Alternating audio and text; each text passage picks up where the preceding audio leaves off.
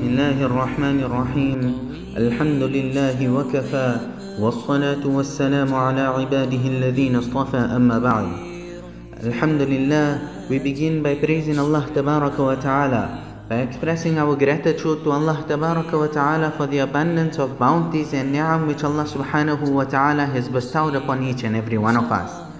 And amongst the greatest of bounties is that Allah Ta'ala has blessed us with this beautiful deen, this deen which is all encompassing, this deen which has provided humanity with guiding principles which if followed will lead an individual to success in this world and in the akhirah. And if disregarded will lead an individual to difficulty and despair.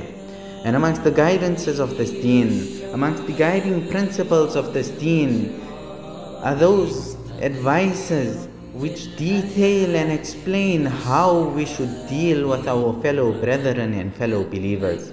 This is a vital component for our spiritual improvement. Ibn Abbas radiallahu anhuma is quoted as saying, إذا أردت أن تذكر عيوب صاحبك فاذكر عيوب نفسك that when you intend, when you want to make mention of the deficiencies and defects of your companion, Rather take a moment and remember and ponder over your own deficiencies. Beloved friends, this is the guiding principle that when we deal with our fellow Muslims and our fellow believers, we should be kind, lenient, we should maintain husnul dhan and good thoughts with regard to them.